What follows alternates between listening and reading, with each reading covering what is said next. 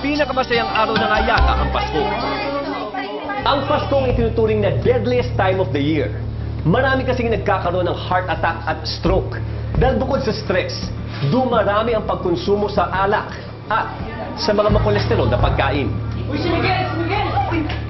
Sa tala ng Stroke Society of the Philippines, dumodoble ang bilang ng mga kaso ng stroke sa tuwing papasok ang buwan ng Disyembre hanggang Enero. At taon-taon, pabata ng pabata ang mga nai-stroke. Rescue 5, magandang araw.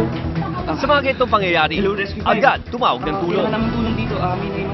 Maring stroke ito o heart attack. Ang una natin dapat gawin ay titingnan kung responsive pa siya. Tatawagin ang pangalan. Miguel? Miguel, dapat sa balikat at hindi sa ulo. Kapag wala na yung tinatawag na signs of life, ihiga siya sa isang flat na surface at gagawin ang tinatawag na chest compressions. Lumuhod sa tabi ng biktima. Hanapin ang pinakagitna ng kanyang dibdib. Ilagay ang heel ng kanang kamay doon. Papatong naman ang kaliwa. At pababa ang pressure. Lalalim ng hanggang 2 pulgada. At gagawa tayo ng 100 compressions kada minuto. Iwasan natin na baluktutin ang ating mga siko. Pwede natin gawin ang maneuver na ito hanggang dumating ang tulong.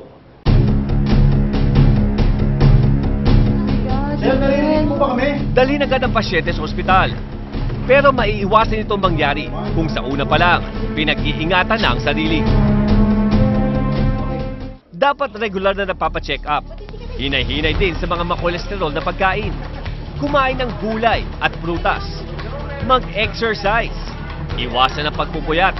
Sa kahit anong okasyon, huwag abusuhin ang sarili para mas marami pa ang Paskong pagsasamahan ng pamilya at mga kaibigan natin.